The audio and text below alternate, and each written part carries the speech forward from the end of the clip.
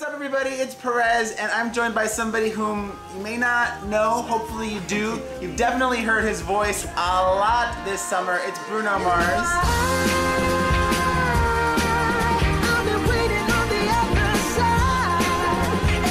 But I'm really fascinated because it seems like, to me at least, maybe to a lot of people, you kind of came out of nowhere, and then you you had these two huge records this summer, uh, uh, Beautiful Girls and uh, uh, Billionaire. the Billionaire, yeah, that one. I was thinking the other B.O.B. song, but you didn't do that I didn't do one. Uh, you have actually been working in the industry for a long time. You know, I tried to be an artist that wasn't really working out, so I started producing records and writing for other artists, and that kind of took off.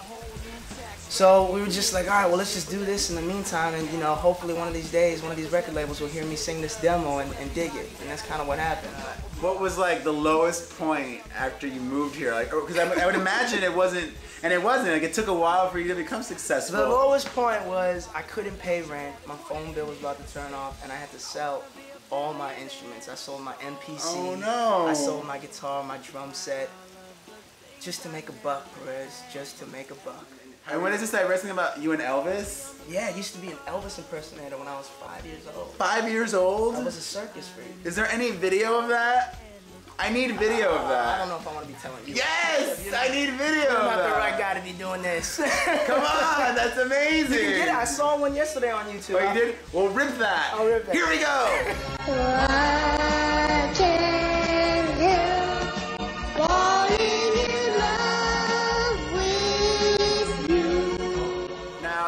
I were to guess, and it's kind of a fake question because I heard it, but if I were to guess what your first solo effort would sound like, I would think it would sound kind of like the, the first two songs we really heard you on. Right. But it doesn't really sound like that. What does it sound like, Perez? Well, it, it sounds. What does it sound like? It sounds uh, a, a, a little less acousticy folky. It sounds a little a little bigger than that. A little more I a, went for it. A more tempo. I went for it. So you went for I it. I want to know. You know, it just came out yesterday, so Yeah, I, it's I'd like to know. brand new. Brand spanking new. So I just want to know what people think.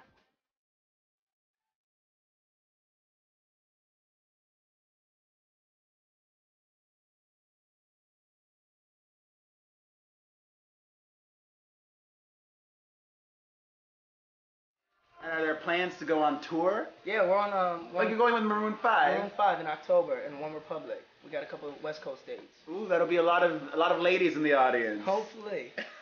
are you dating anyone? Yeah, I have a I have a very beautiful girlfriend actually. And you just admitted that. That I'm sure she'd appreciate that. Yeah. See, if I were to give you advice, I'd be telling you to deny that. Oh no. Or you could just say, I don't talk about my personal life. Okay, let's do it again. No, no, we're running that now.